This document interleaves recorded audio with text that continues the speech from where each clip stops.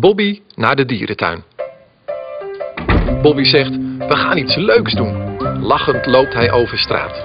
Hij is blij omdat hij strakjes naar de dierentuin toe gaat. Daar gaat Bobby, naar de kassa. Hij staat vooraan in de rij. Papa zegt, jij mag betalen.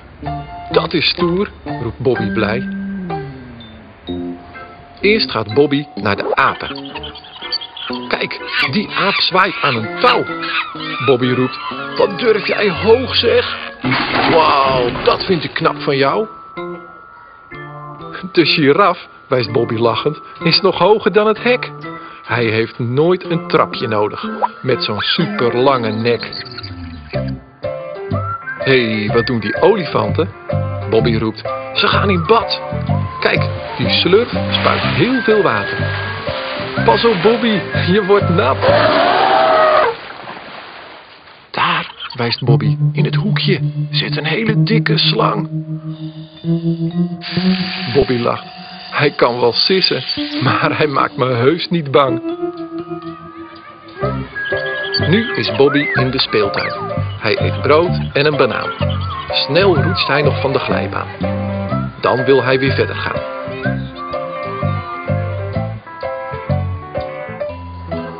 Bobby wijst, die kleine pinguïn lijkt een deftige meneer.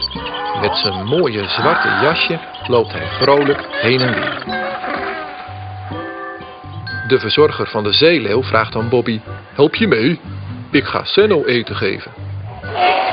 Bobby juicht, ja, goed idee. Brrr, pas op, zegt Bobby zachtjes, voor de grote krokodil.